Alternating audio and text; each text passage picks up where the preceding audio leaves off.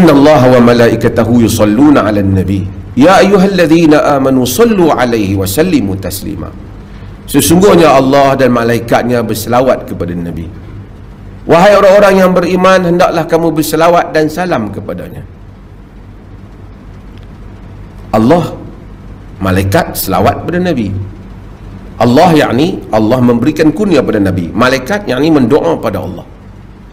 Macam mana mereka selawat pada Nabi Sahabat dah tanya Nabi Macam mana nak selawat pada Nabi? Nabi dah bagi tahu sebut Allahumma salli ala Muhammad wa ala ali Muhammad. Kama sallaita ala Ibrahim wa ala ali Ibrahim.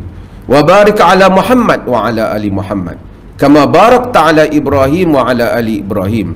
Fil alamin innaka hamidun majid. Hal ini Nabi ajar para sahabat. Kalau orang tanya selawat apa yang paling afdal?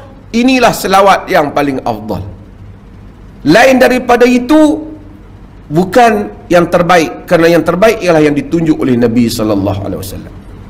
Al-Imam Tajuddin As-Subki ini imam di dalam mazhab Syafi'i. Dia tulis kitab penting Tabaqatus Syafi'iyah. Semua tingkatan-tingkatan ulama-ulama mazhab Syafi'i. Dia sebut dia kata ayahku telah bagi tahu siapa yang selawat seperti mana yang Nabi bagi tahu ini bererti dia telah berselawat dengan yakin. Kerana yang ni yang Nabi bagi tahu. Dan dia mendapat pahala dengan yakin. Kalau dia bawa mari selawat lain daripada yang Nabi bagi tahu kata Al-Imam As-Subki bererti dia bawa satu selawat yang syak. Kerana yang tu tak pasti. Yang Nabi bagi tahu yang ini kata dia. Maka itu sesuatu yang syak. Tentulah tak sama antara yang yakin dengan yang syak.